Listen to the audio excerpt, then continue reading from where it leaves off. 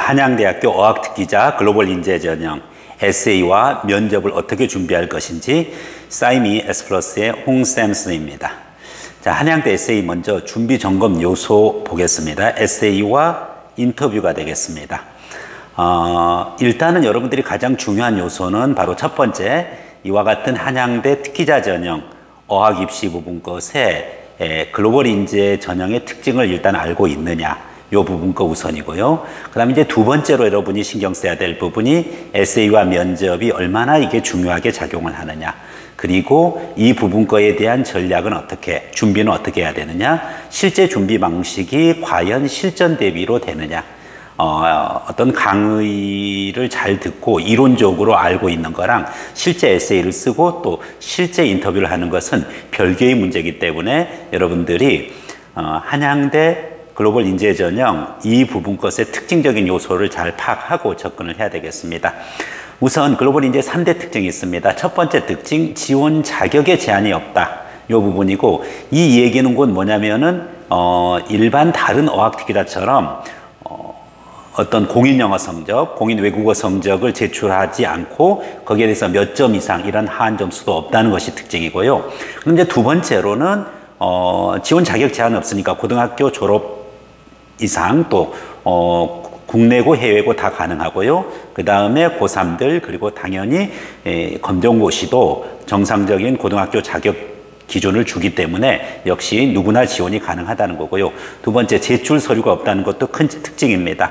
어, 따라서 자격 서류, 그러니까 지원 자격에 제한이 없으니까 당연히 자격 서류 필요 없고 실적 필요 없고 학생부마저도 제출할 필요가 없습니다.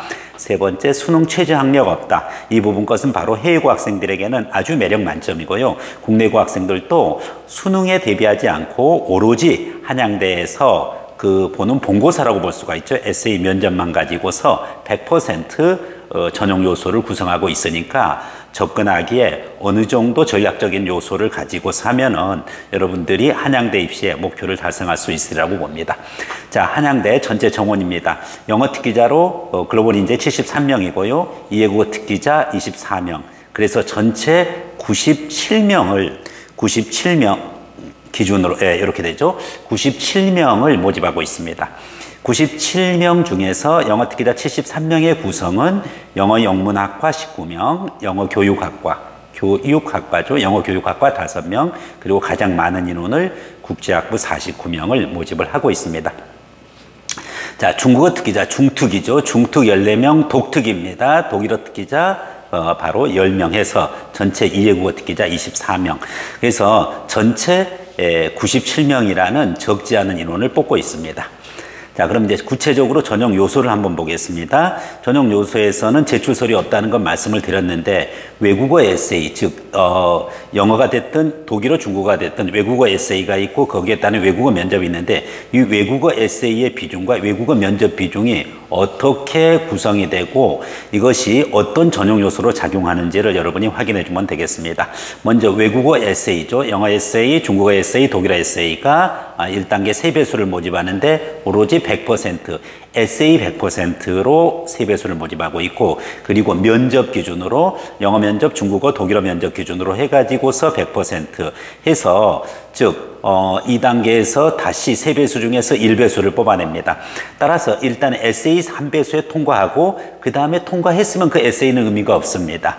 그리고 인터뷰로 해가지고서 영어 인터뷰, 중국어, 독일어 인터뷰로 해가지고 최종 학생을 모집하는 아주 단순화된 그와 같은 전용 요소를 갖고 있습니다. 자, 그럼 어떻게 대비하느냐 하는 부분입니다. 에세이 100% 3, 배수 모집하는데 60분 시간을 주고요. 제시문을 제대로 해석해 내는지 그리고 어, 각 외국어로 장문을 제대로 할 수 있는지 그리고 얼마나 내용의 정합성이라든지 문단 구성 또 논리력, 독창적인 사고 이와 같은 부분 것을 종합적으로 에세이에서 평가를 하고 있습니다. 2단계 외국어 면접에서 이제 1배수를 모집하는데 3배수 뽑은 상태에서 일주일 정도 여유 기간을 주고 일주일 뒤에 외국어 면접을 보게 돼 있습니다. 외국인 교수님 두 분이서 어, 10분 동안 심층 면접이 아니라는 사실이고요. 일반 면접임에 주의할 것. 그래서 해당 언어 구사 능력, 어, 바로 영어, 중국어, 독일어 구사 능력과 그리고 어, 기초 인성 면접 기준으로 해서 어, 면접을 치르게 됩니다. 그래서 3배수 에세이 통과하는 것이 가장 기본적인 전략이고 통과한 후에는 일주일 동안 집중적으로 인터뷰 준비를 어, 하도록 하면 되겠습니다. 자, 한양대 에세이 대비법 그럼 어떻게 대비하느냐? 일단은 이 부분 것은 여러분들 토플 저희 학원에서 119점이 합, 불합격하고 103점이 합격한 사례가 있는데 토플 점수 없어도 관계는 없습니다. 그 얘기는 곧 뭐냐면은 토플식 writing이랑은 조금 다른 부분이죠. 물론 이제 writing 부분 거의 어떤 실력이 에세이 쓰는데 물론 도움이 되는 거는 사실입니다만은 그것이 전부가 아니라는 걸 이야기하고 있고요. 그 다음에 이제 특히 해외에서 온 학생들 어떤 personal 에세이 쓰거나 아니면 리포트 에세이 쓰는 거랑은 좀 별개고 한국식 논술을 본고사 유형에 좀 익숙해져 있어야 되는 겁니다. 한국식으로 제시문을 복합적으로 두 개, 세 개 제시문을 주고 특정 제시문에서 다른 제시문을 비판하라 또는 A 제시문에서 B 제시문, A 제시문의 논거를 기준으로 B 제시문의 내용을 전개하시오. 이와 같은 내용으로 구성되기 때문에 제시문에 대한 정확한 이해가 필요하고요. 제시문과 제시문 간의 관계, 이게 특히 중요합니다. 자, 이런 부분들 것은 사실 우리말 논술을 했던 학생들에게는 좀 유리하죠. 그러나 영어 작문 능력과 영어 표현 능력이 안 되면 또 지원할 수가 없습니다. 따라서 우리말 논술 능력에 플러스 영어 작문 또 영어 에세이 능력을 고루 갖춘 거기에 추가로 사고력, 논리력, 표현력이 다 가미되어 있는 것이 바로 한양대 에, 글로벌 인재 전형 1단계의 에세이 전형이 되겠습니다. 철저한 그리고 논제 즉 한양대에서 쓰라는 내용이 있습니다. 그 쓰라는 내용, 논하라는 내용을 가지고서 글을 전개를 해줘야지 무턱대고 자기 견해라고 해서 막 써놓으면은 전혀 점수를 못 받게 되는 거죠. 자, 요런 점에 유의해서 여러분이 에세이를 대비를 해주고요. 특히 이제 에세이 대비법의 이제 두 번째 단계에서 배점 요소가 중요한데 내용의 정합성, 문단 구성, 논지 전개 이 부분이 무려 50%. 이제 전체적인 부분 것을 좀 보는 거죠. 과연 어, 전체 내용을 파악을 했고 그 파악된 내용에 논제에 맞게 썼느냐 하는 부분이 내용의 정합성 부분입니다. 문단 구성은 제대로 됐느냐, 논지가 제대로 전개, development, 라직 디벨로먼트가 제대로 돼가고 있느냐 하는 부분이 50%에 해당하는 겁니다. 자, 그 다음에 두 번째 독창적인 생각이랑 그 다음에 논리적인 전개 부분이 30%죠. 일반적으로 제대로 된 문제 제기 하는 부분이랑 thesis 당연하죠. thesis statement가 있고 거기에 해당하는 topic sentence들이 구성되고 어, topic sentence의 coherence에 맞게 또 united에 맞게 무엇이 supporting detail이 가지고 있느냐 하는 전체적인 일반적인 여러분들이 영어 에세이 쓰는 이제 그 패턴에 제대로 어, 적용이 되어 있느냐 하는 부분 것도 무려 전체의 30%로 이제 구성이 되어 있고요. 어, 그 다음에 A에 전체 구조가 이제 10%고 그 다음에 표현, 문법, 철자 이런 부분이 10%입니다. 전체 구조 부분 것은 intro, main session, conclusion 여러분이 쓰는 이제 그런 부분 것의 패턴이 제대로 맞춰져 있느냐 하는 부분이고 의외로 뭐 rhetoric이라든지 grammatical error, spelling 이런 부분은 굉장히 테크니컬한 에러 부분인데 이 부분 거가 차지하는 비중은 그렇게 많지가 않다는 것을 알 수가 있습니다.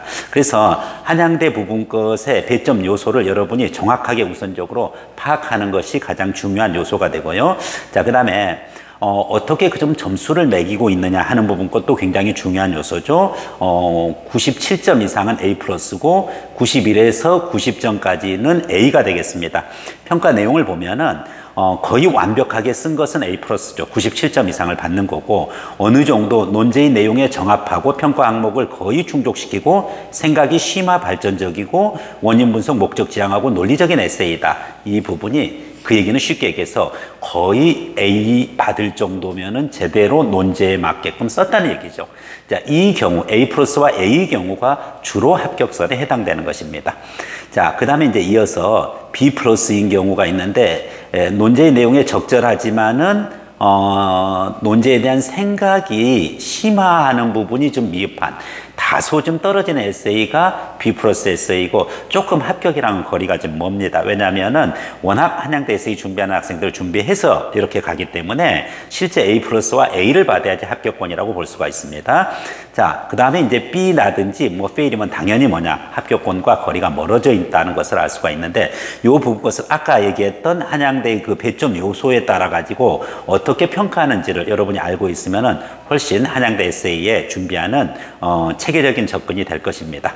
자 그러면은 구체 이제 그 답안지 양식 잠깐 좀 확인하면은 이와 같이 B4 정도의 이, 이 줄에다가 이제 채우게끔 되어 있고 절대 여기를 overflow 어, 즉 초과하는 그와 같은 것은 감점이 된다는 거 주의를 해주고요. 양식 부분 것은 홈페이지에서 확인을 하시면 됩니다.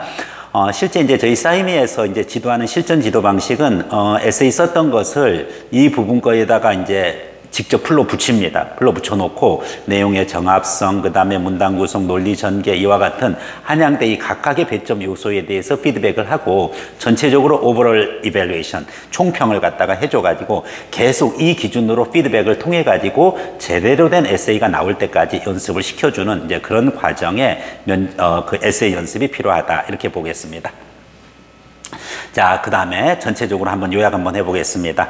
일단은 전형 특징을 좀 파악해라. 어, 그초 3대 특징이라고 했습니다. 지원 자격이 없고 제출 서류도 없고 수능 한도 없다. 이 점에 유의해가지고서 여러분들이 거기서 따라서 뭐다 핵심적인 게 에세이와 인터뷰라는 사실을 인식을 하고 이것을 어떻게 대비하고 전략적으로 가느냐. 특히 실전적 대비가 되어지느냐. 어, 이런 부분 거 실전 모의에서의 실전 모의 면접 중심으로 연습을 하는 것이 필요합니다. 이 네 가지 단계를 종합적으로 여러분들이 이해를 하고 접근을 해야 되겠습니다. 어, 그렇게 해야지만 진정으로 여러분이 원하는 한양대 에, 바로 에세이 전형, 글로벌 인재 전형의 합격의 영광을 누릴 수 있으리라고 생각을 합니다.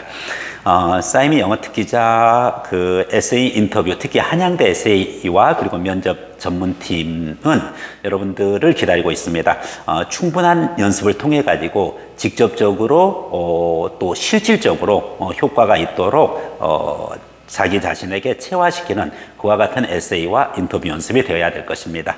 네, 감사합니다.